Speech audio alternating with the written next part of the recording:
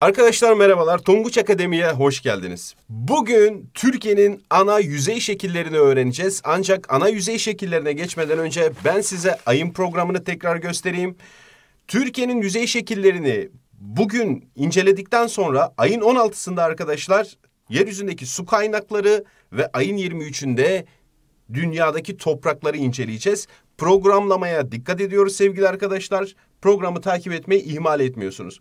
Derse geçmeden önce size sıfırdan ona coğrafyadan arkadaşlar bir ödev veriyorum. O ödev nedir? O ödev e, Türkiye'nin ana yer şekilleri sayfa 64'ten başlıyor sayfa 68'e kadar. Burayı okuyorsunuz. Burayı okuduktan sonra hemen ne yapıyoruz? Soru bankasını açıyoruz. Sayfa 45'i açıyoruz soru bankasından ve konuyla ilgili bakın Türkiye'nin ana yer şekilleriyle ilgili soruları çözüyorsunuz ve soruları çözdükten sonra artık bu konuyla ilgili bütün bilmeniz gereken her şeyi öğreniyorsunuz arkadaşlar. Eğer hazırsanız başlıyoruz.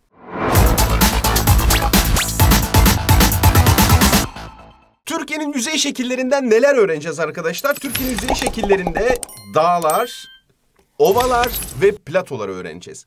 Nedir dağlar, nedir ovalar, nedir platolar arkadaşlar? Aslında öncelikli olarak ben size şöyle küçük bir giriş yapayım.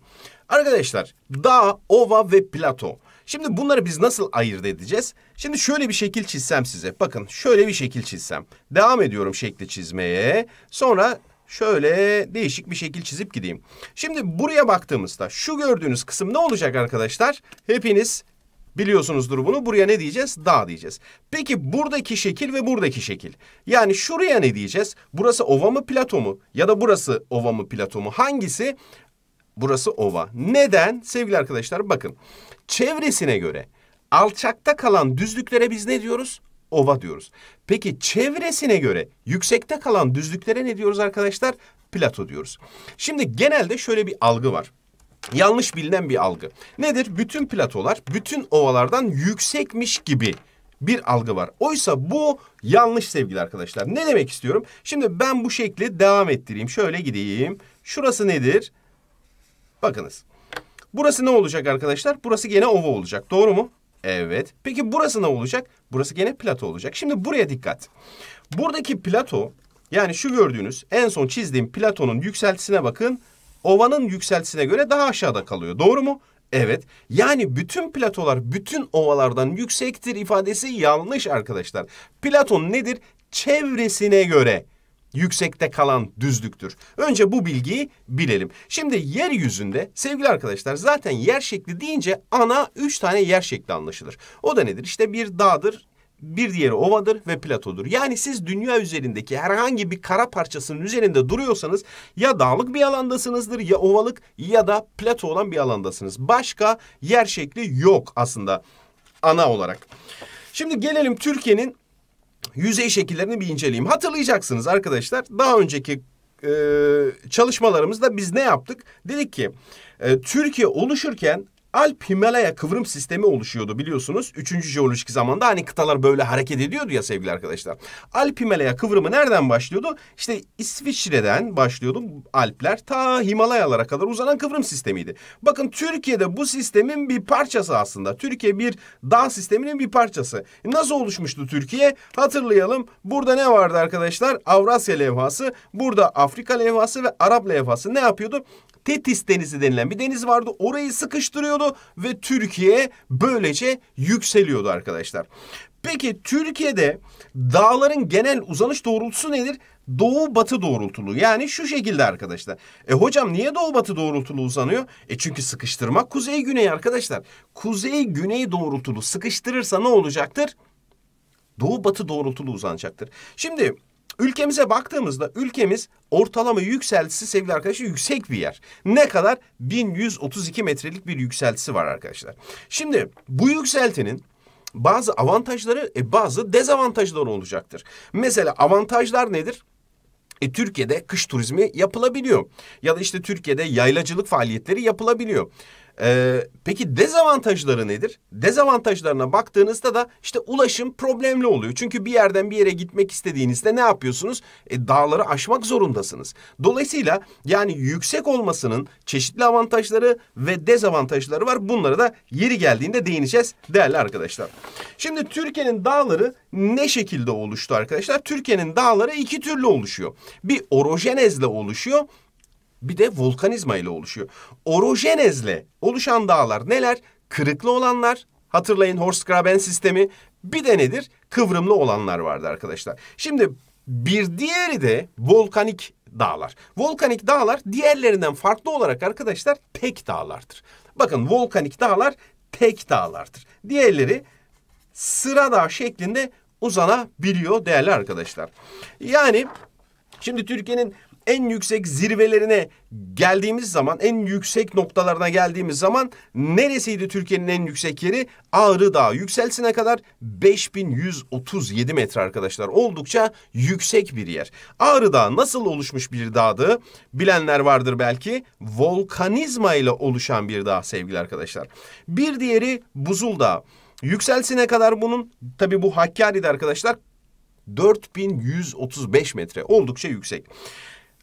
Bir diğeri Sübhan Dağı. Sübhan Dağı nasıl oluşmuştu? Gene volkanizma ile oluşan bir dağ. Sübhan Dağı da hemen Van Gölü'nün yanındaki bir dağ. Yükselsine kadar 4058 metre. Kaç kar dağı var Doğu Karadeniz'de sevgili arkadaşlar? Erciyes Dağı var Kayseri'de. Bu nasıl bir dağ? Bu da volkanik bir dağ arkadaşlar. Küçük Ağrı Dağı da hemen Büyük Ağrı Dağı'nın yanındaki bir dağ. Bu da volkanizma ile oluşmuş bir yer. Dikkat ederseniz Türkiye'nin en yüksek zirvelerine baktığımızda bunlardan e, önemli bir kısmı volkanik dağlar sevgili arkadaşlar. Şimdi Çevirelim. Öncelikli olarak Türkiye'nin kıvrım dağlarına bakalım. Kıvrım dağlar yani orojenezle işte oluşurken kıvrılan sahalar. Biliyorsunuz burada biz antiklinal ve senklinal kavramlarına değinmiştik. Neydi antiklinal senklinaller? Hani levhalar birbirini sıkıştırırken ne oluyordu? Şöyle kıvrılmalar oluyordu. Hani levha böyle sıkıştırıyor bir de bu taraftan sıkıştırıyor. Böyle yüksekte kalan sahalar neyi oluşturuyordu? Antiklinalleri oluşturuyordu arkadaşlar. Aşağıda kalan kısım neyi oluşturuyordu? Senklinalleri oluşturuyordu. Antiklinal ve senklinal diyoruz biz bunlara. Şimdi Türkiye'deki dağlara baktığınızda büyük kısmı böyledir. Mesela biz şu kıvrıma Karadeniz kıyısı boyunca uzanan şöyle şu kıvrıma ne diyoruz biz? Kuzey Anadolu dağları diyoruz arkadaşlar. Kuzey Anadolu. Neden Kuzey Anadolu diyoruz? E çünkü burası Anadolu değil mi? Anadolu. Anadolu'nun kuzeyindeki dağlar. Buradakine ne diyoruz? Şöyle Akdeniz kıyısı boyunca devam eden bu kıvrım sistemine ne diyoruz? Toros Dağları diyoruz. Şimdi dikkat ederseniz bir tarafta Karadeniz hattı boyunca giden Kuzey Anadolu Dağları ve Toros Dağları. Bunlar ne yapıyor? Bunlar Doğu Anadolu bölgesinde böyle birleşiyor, devam edip gidiyor sevgili arkadaşlar. Peki bu dağlar içinde hocam biz bunların isimlerini Nasıl aklımızda tutacağız, nasıl ezberleyeceğiz? Arkadaşlar bazı yerler var ki bunlar önemli, bilmemiz gerekiyor. Nedir onlar? Bir tanesi Yıldız Dağları. Bakın kırmızıyla tarıyorum. Yıldız Dağları nerede? Kırklareli arkadaşlar. Hemen Marmara bölgesinin kuzeyindeki dağlar.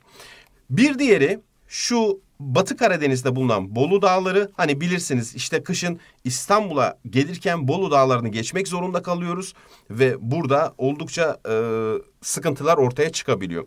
Ve Köroğlu Dağları, Ilgaz Dağları, Küre Dağları. Küre Dağları da Kastamonu'da arkadaşlar.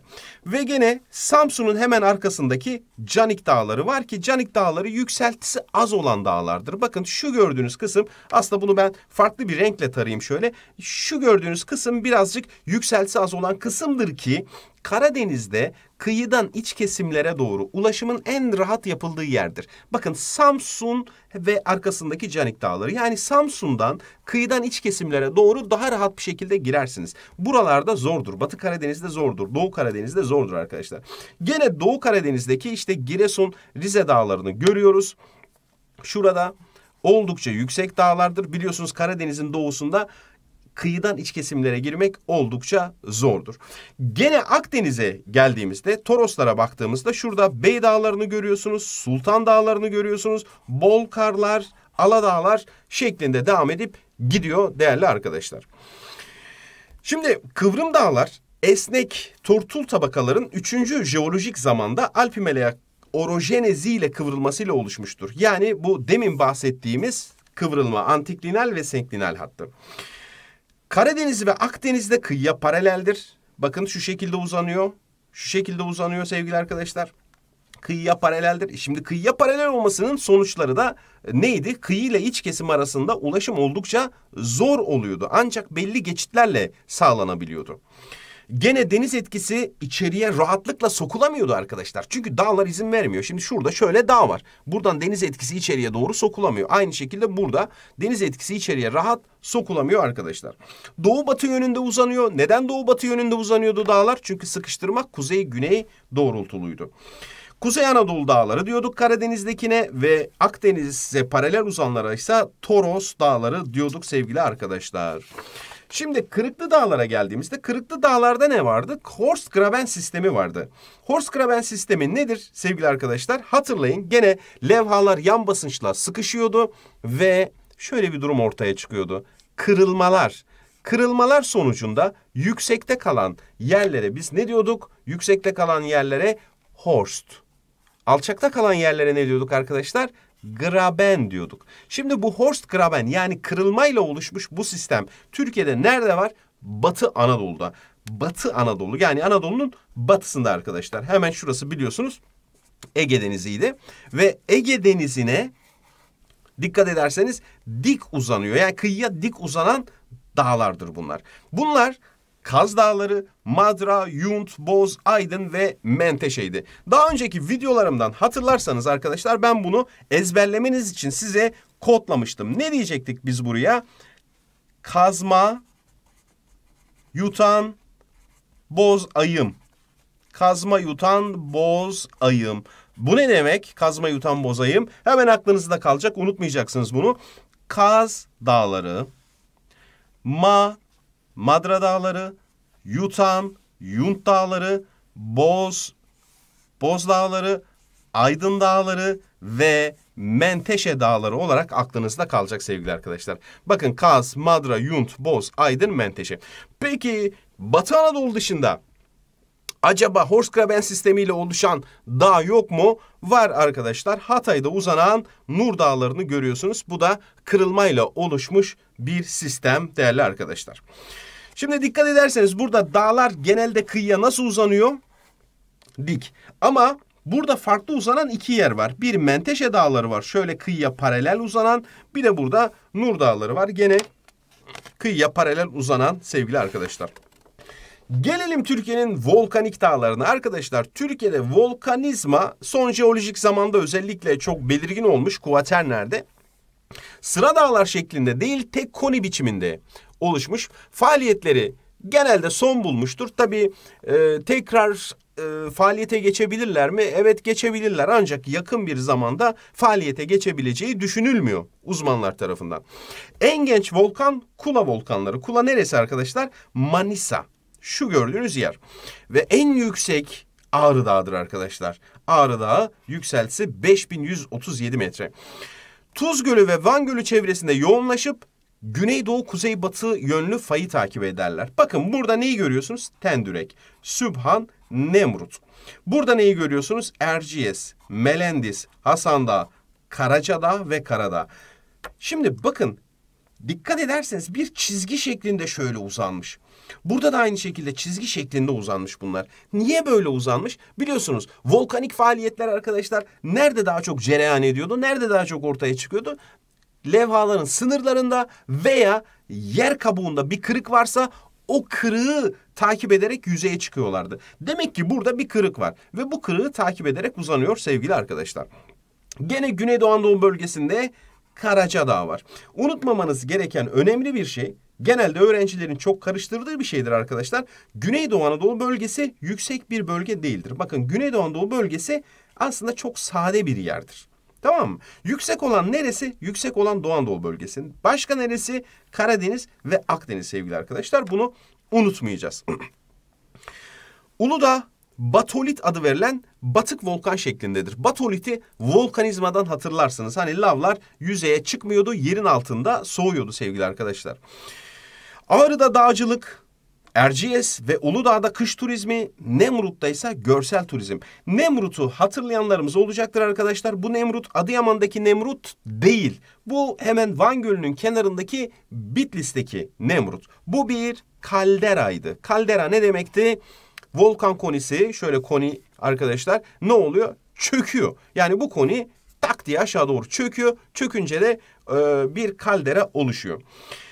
Erciyes ve Hasan Dağları peri bacalarını oluşturmuştur. Biliyorsunuz peri bacalarının oluşumunda ne önemliydi? Volkanizma. Çünkü tüften e, oluşuyordu sevgili arkadaşlar ve bazalttan oluşuyordu. E bunlar nerede var? Volkanizmanın etkin olduğu yerler. Peri bacalarının yoğun olduğu yer neresi? Şu gördüğünüz kısım. Biz buraya tabii ki ne diyorduk? Hatırlayın bilenlerimiz vardır, gidenlerimiz çoktur. Kapadokya sevgili arkadaşlar. Yani burada peri bacalarının oluşmasında Melendis, Erciyes Dağı ve Hasan Dağı'ndan çıkan lavlar çok çok etkili olmuştur.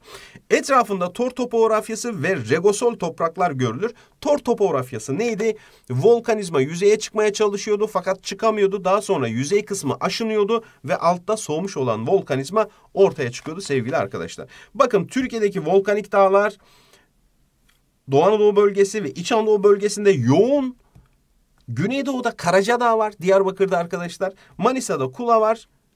Ve gene işte Uludağ'da e, volkanizma ile oluşmuş bir dağ değil fakat e, volkanizma sonucu yükselmiş bir alan sevgili arkadaşlar. Gelelim Türkiye'nin ovalarına. Şimdi Türkiye'nin ovalarını nasıl ayırıyoruz? Bir, bulundukları yere göre ovalar. Bir de oluşumlarına göre ovalar. Bulundukları yer nedir? Ya kıyıdadır bu ova ya içeridedir arkadaşlar. Oluşumlarına göre baktığımızda tektonizmayla yani yer kırıklarıyla oluşanlar, karstik sahalar. Karstik sahalar sevgili arkadaşlar biliyorsunuz kireç, alçı doğru mu? Yani kaya tuzu, kireç, jips, alçı dediğimiz şey neydi? Jipsti değil mi sevgili arkadaşlar? Ve kaya tuzunun yoğun olduğu yerlerde oluşuyordu. Delta ovası neydi? Delta ovası akarsular denize dökülürken yaptığı biriktirme. Yani şöyle tekrar bir kıyı çizgisi çizelim. Burası kara olsun, burası deniz olsun sevgili arkadaşlar. Akarsu geliyor ve denize dökülürken şöyle çizelim akarsuyu. Şuradan Bakın bir akarsu gelsin. Geldi akarsu. Denize dökülürken beraberinde getirmiş olduğu alüvyalleri ne yapıyordu? Kıyıda biriktiriyordu. Ve bu biriktirme sonucu üçgene benzeyen bu şekle biz ne diyorduk? Delta diyorduk. Zaten şu harf ne demek? Delta demek. Üçgen delta demek. Buradaki ovalarda delta'ya benziyor sevgili arkadaşlar. Yani üçgene benziyor. Dolayısıyla isimleri delta ovası oluyor. Nerede oluşuyor bu ovalar? Dikkat edin. Akarsuyun denize döküldüğü yerlerde yani akarsu denize dökülmüyorsa delta oluşmaz. Sadece akarsular oluşturuyor. Bu çok önemli. Buraya yıldız koyuyorum arkadaşlar. Türkiye'nin delta ovalarını bileceğiz özellikle. Şimdi biz de ovalar noktasında zengin bir ülkeyiz sevgili arkadaşlar. O yüzden Türkiye'nin birçok sahasında böyle ovaları göreceğiz. Bakalım Türkiye'deki ovaların dağılımına. Şimdi burada özellikle sizden e, bilmenizi istediğim ne var? Bilmenizi istediğim sevgili arkadaşlar bakın Çarşamba Ovası'nı görüyorsunuz Karadeniz'de ve Bafra Ovası. Bunlar delta ovalarıdır. Yani akarsular tarafından oluşturulmuş ovalar. Çarşambayı hangi akarsu oluşturuyor? Yeşilırmak. Bafra'yı hangisi oluşturuyor arkadaşlar? Türkiye'nin en uzun akarsuyu olan Kızılırmak oluşturuyor. Gene hemen karşısında şu aşağıda Çukurova'yı görüyorsunuz. Çukurova hangi akarsular tarafından oluşturuluyordu? Seyhan ve Ceyhan nehirleri. Tamam mı? Bakın bunlar çok çok önemli. Gene şurada Göksu Nehri'nin oluşturduğu Silifke Ovası'nı görüyorsunuz. Bakın Karadeniz'de ve Akdeniz'de ikişer tane delta ovamız var. Karadeniz'de Çarşamba ve Bafra, Akdeniz'de Çukurova ve Silifke. Tabii Çukurova çok çok büyük bir delta ovasıdır. Türkiye'nin en büyük deltasıdır. Şimdi diyeceksiniz ki hocam bir sürü akarsu dökülüyor Karadeniz'e ve Akdeniz'e. Neden bu kadar az delta oluşmuş? Çünkü Karadeniz ve Akdeniz'de kıta sahanlığı dar. Yani deniz birden derinleşiyor. Deniz birden derinleştiği için birikmesi kolay olmuyor. Dolayısıyla çok zaman alıyor. Delta oluşması bu anlamda oldukça güçtür. Fakat Ege'ye baktığınızda Ege'ye dökülen akarsular deltayı çok rahat bir şekilde oluşturuyor. Neden? Çünkü Ege'de deniz oldukça sığ. Gelen akarsu hemen ne yapıyor orada? Deltasını oluşturuveriyor arkadaşlar. Şimdi baktığımızda Ege'dekiler neler? Şuradan Büyük Menderes Nehri, Küçük Menderes Nehri, pardon şöyle Büyük Menderes'i çizelim. Küçük Menderes, Gediz ve Bakırçay. Bakın burada da Ege'ye dökülen akarsuların tamamı delta oluşturmuş arkadaşlar. Ege'deki deltalar neler? Şöyle yazalım hemen. Bakın Büyük Menderes'in oluşturduğu delta Balat deltasıdır. Küçük Menderes'in oluşturduğu delta Selçuk deltasıdır. Gediz'in oluşturduğu delta Menemen deltasıdır. Menemen. Ve Bakırçay'ın oluşturduğu delta Dikili deltasıdır sevgili arkadaşlar.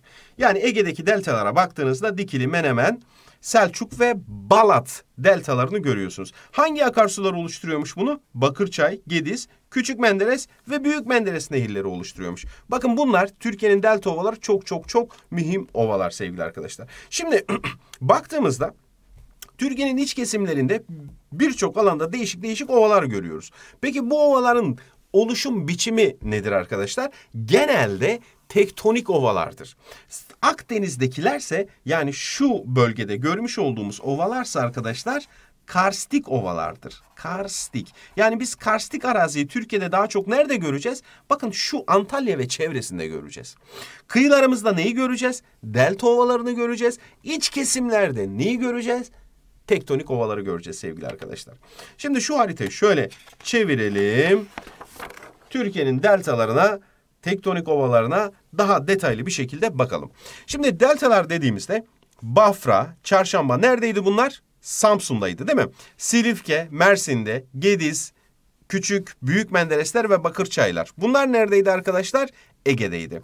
Gene Çukurova ve Meriç, Çukurova Akdeniz'deydi. Meriç nerede? Meriç Nehri'nin döküldüğü yerde arkadaşlar Türk-Yunan sınırında. Deltalar nasıl oluşuyordu? Akarsuların biriktirmesiyle oluşuyordu. Alüvyon özellikle taşıdığı malzemeye biz ne diyorduk? Akarsuların alüvyon diyorduk. Getirdiği alüvyonları biriktiriyor ve oluşuyor. Arkadaşlar bu deltalar mineralce oldukça zengin olduğu için çok çok çok önemli tarım alanlarıdır çok önemli tarım alanlarıdır. Dolayısıyla buralarda nüfus ve yerleşme yoğundur. E tabii toprak alüvyon olunca ne oluyor? Depreme de çok dayanıksız oluyor. Çünkü zemin sağlam değil. Tektonik ovalara geldiğimizde Türkiye'de en yaygın ova türüdür. Çünkü biliyorsunuz Türkiye'de oldukça e, yoğun depremsel sahalar var arkadaşlar. Bunlar fay hatlarına paralel uzanıyor büyük oranda. Nüfus, sanayi, tarımsal etkinlik yoğundur. Çünkü ovalar sevgili arkadaşlar. Yüz ölçümleri küçük, sayıları fazladır. Neden yüz ölçümleri genelde küçük? Çünkü Türkiye arkadaşlar biliyorsunuz böyle çok yüksek bir yer olduğu için hani buruş buruş bir arazi. Dolayısıyla bunların e, yüz ölçümleri de oldukça küçüktür. Karstik ovalara gelince bakın buradaki kodlamaya takkem, tefenni, acıpayam, Kestel, Korkuteli, Elmalı ve Muğla. Ne diyormuşuz? Takkem diyormuşuz arkadaşlar. Bunlar da nerede yaygındı? Antalya ve çevresinde yaygın arkadaşlar.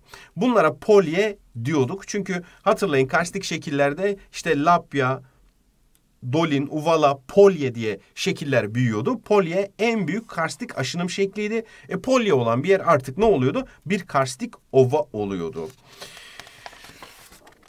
Türkiye'de diğer ovalar neler? İşte taban seviyesi ovası var Sakarya'da e, kıyı akıntıları nedeniyle denize ulaşamayan birikmenin karada oluşmasıyla meydana geliyor. E, şimdi e, Sakarya Nehri dökülürken Karadeniz'e neden delta oluşturmamış? Çünkü kıyıdaki akıntılar izin vermiyor sevgili arkadaşlar. Tabii bunlar da diğer bütün ovalar gibi tarımsal açıdan değerlidir. Volkanik ovaları nerede görüyoruz? İç Anadolu bölgesinde hani Erciyes Dağı'nın, Hasan Dağı'nın yakınlarında işte Develi, e, Kayseri'de e, gördüğünüz gibi. Dağ içi ve dağ eteği ovalarını nerede görüyoruz? Özellikle Doğu Anadolu bölgesinde görüyoruz arkadaşlar. Bunlar da Doğu Anadolu bölgesinde e, tarımsal faaliyetler için önemli sahalar.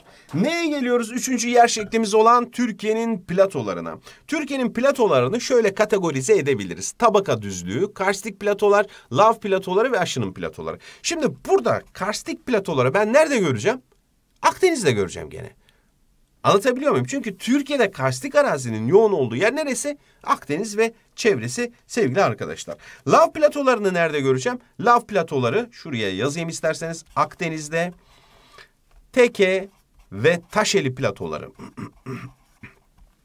Lav platoları nerede? Doğu Anadolu bölgesinde arkadaşlar. Doğu Anadolu'da biliyorsunuz volkanizma orada etkiliydi. Neresi peki? Erzurum, Kars ve Ardahan platoları.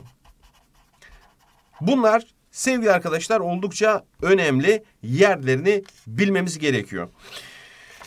Şimdi Türkiye'nin platolarına şöyle baktığımızda ne görüyoruz? Bakın renklere dikkat edin. Şu turuncu renkli gördüğünüz ovalar karstik ovalar. Teke ve taşeli ovalar.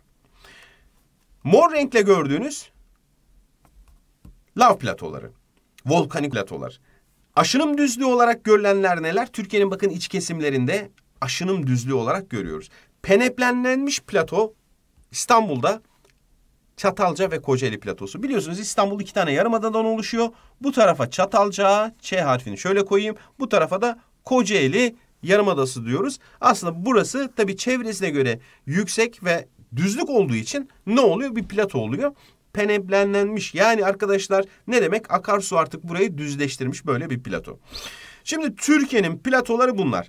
Karstik platolar şu teke ve taşeli. Teke, taşeli. Bunlara böyle aklınızda kalsın. Tek taş diyebilirsiniz. Tek taş.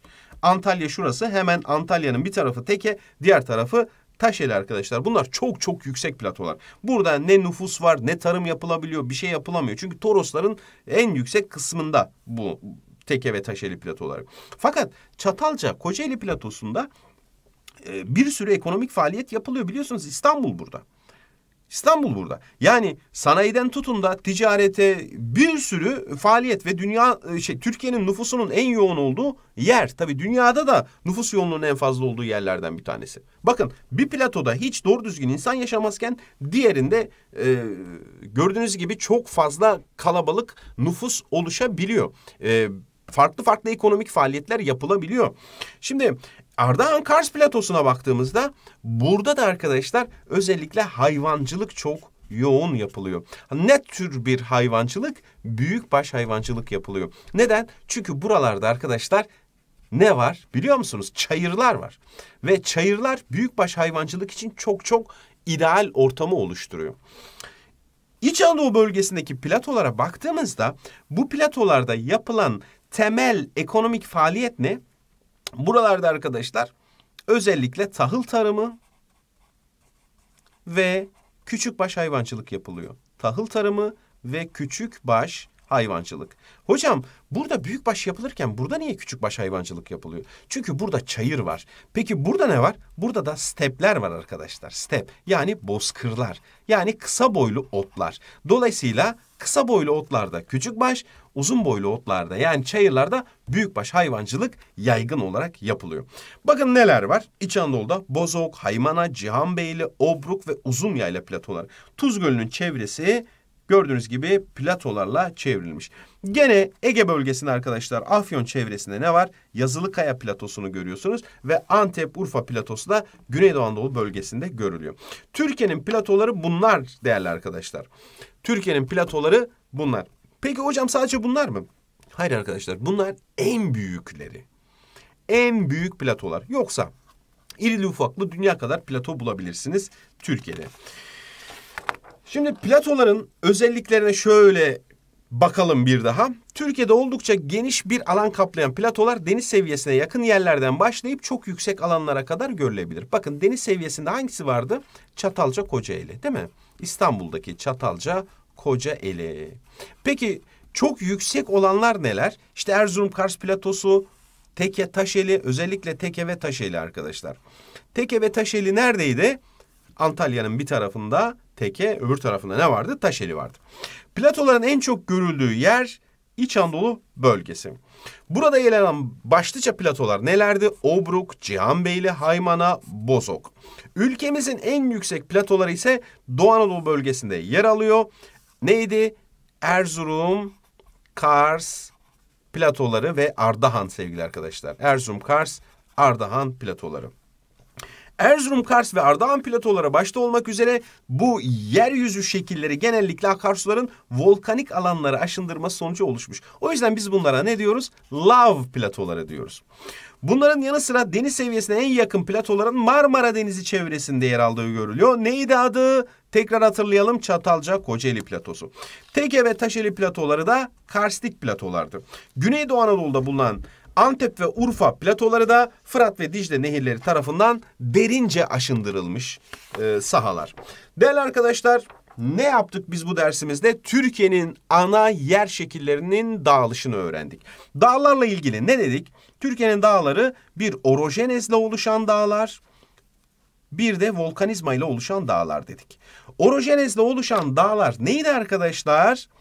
İki türlüydü. Bir, kıvrımlı dağlar, öbürü neydi? Kırıklı dağlar. Kıvrımlı dağlar Karadeniz'deki Kuzey Anadolu dağları ve Akdeniz'deki Toros dağları. Bunlar nasıl oluşuyordu? Antiklinal ve senklinal. Kırıklı dağlar nasıl oluşuyordu? Horst ve Graben şeklinde oluşuyordu arkadaşlar. Volkan konileri de biliyorsunuz fayları takip ediyor. Özellikle nerede çoktu? Doğu Anadolu bölgesinde işte Ağrı, Tendürek, Sübhan ve İç Anadolu bölgesinde Erciyes, Melendis, Hasan Dağı gibi. Ovalara baktığımızda Türkiye'de ovalar kaç şekilde oluşuyordu? Deltalar, karstik ovalar ve tektonik ovalar. Deltalar akarsuların denize döküldüğü yerde. Değil mi? Karadeniz'de hangi deltalarımız vardı? Samsun çevresinde Çarşamba ve Bafra. Akdeniz'de Çukurova ve Silifke. Gene Ege'de Balat, Selçuk, Dikili ve Menemen deltaları vardı arkadaşlar. Karstik'i nerede görecektim ben? Antalya ve çevresinde karstik ovaları görecektim. Bunları da nasıl kodlamıştık karstik ovaları? Bunu da değişik bir renkle çizeyim şöyle takkem diye kodlamıştık. Tefenli, Acıpayam, Korkuteli, Kestel, Elmalı ve Muğla ovaları. Ve tektonik ovalar neyi takip ediyordu arkadaşlar? Fayları takip ediyordu. Yani deltalar akarsunun denize döküldüğü yerlerde, karstik sahalar da görülen karstik ovalar da kireç, kaya tuzu gibi kayaçların yoğun olduğu sahalarda bunlar da fayları takip ediyordu. Platolara baktığımızda Türkiye'de platoların dağılışını gördük arkadaşlar. Ee, Marmara bölgesinde Çatalca, Kocaeli, Akdeniz'de bunu şu şekliyle yapabiliriz bölge bölge. Platolar şöyle hemen küçük notlar düşelim. Çatalca, Kocaeli. Neredeydi arkadaşlar? Marmara bölgesinde. Teke ve Taşeli neredeydi? Akdeniz bölgesinde. Erzurum, Kars ve Ardahan platoları neredeydi? Doğu Anadolu bölgesindeydi. Bakın şunların yerini özellikle asla unutmuyoruz. Neresi? Marmara, Teke Taşeli neredeydi arkadaşlar? Akdeniz'de, Antalya çevresi. Erzurum, Kars neredeydi? Doğu Anadolu bölgesinde bulunan platolardı. Peki platoların en yoğun olduğu yer neresiydi? İç Anadolu bölgesi. Orada hangi platolar vardı? İç Anadolu bölgesi platolarında şuraya yazıyorum. Obruk, Haymana, Cihanbeyli, Uzun Yayla platoları arkadaşlar. Neredeydi? Bunlar da İç Anadolu bölgesindeki platolardı değil mi? İç Anadolu diyorum şuraya. Ve ne kaldı geriye? Güneydoğu Anadolu bölgesindeki, Güneydoğu Anadolu bölgesindeki Antep ve Urfa platoları. Antep, Urfa platoları bunlar da Güneydoğu Anadolu bölgesindeki platolardı. Şimdi biz platolara bakarken platolar üzerinde yapılan ekonomik faaliyetleri de kısaca özetledik sevgili arkadaşlar. Böylece Türkiye'nin ana yer şekillerini halletmiş olduk. Hepinize iyi çalışmalar sevgili arkadaşlar. Ödüllü sorumuz oldukça basit bir soru. Yorumlar kısmına yazarsınız. Hepinize iyi çalışmalar. Bir sonraki derste görüşmek üzere.